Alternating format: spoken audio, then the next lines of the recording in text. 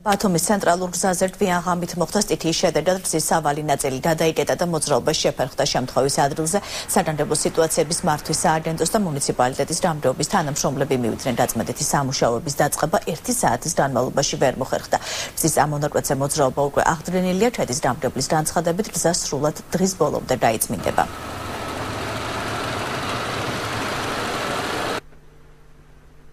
შემოვიდა ინფორმაცია რომ იყო მეწყორი იყო ჩამოწერი სოფელ ცხენაში და გვჭირდა ალბათ 3-4 წუთი აქ ჩამოსვლას გზა იყო გადაკეტილი. და ვიცი მივიღეთ დადარიგო ზომები ხალხი არ გაუშვით ამ საშის ზონაში. ოპერატიულად ვიმოქმედეთ ჩვენი შესაძლებლობებით გზა გახსნილია და დამატებით ხვალე დილით მთლიანად საგზაო დეპარტამენტი უზრუნველყოფს მთლიანად გზის გაწმენდას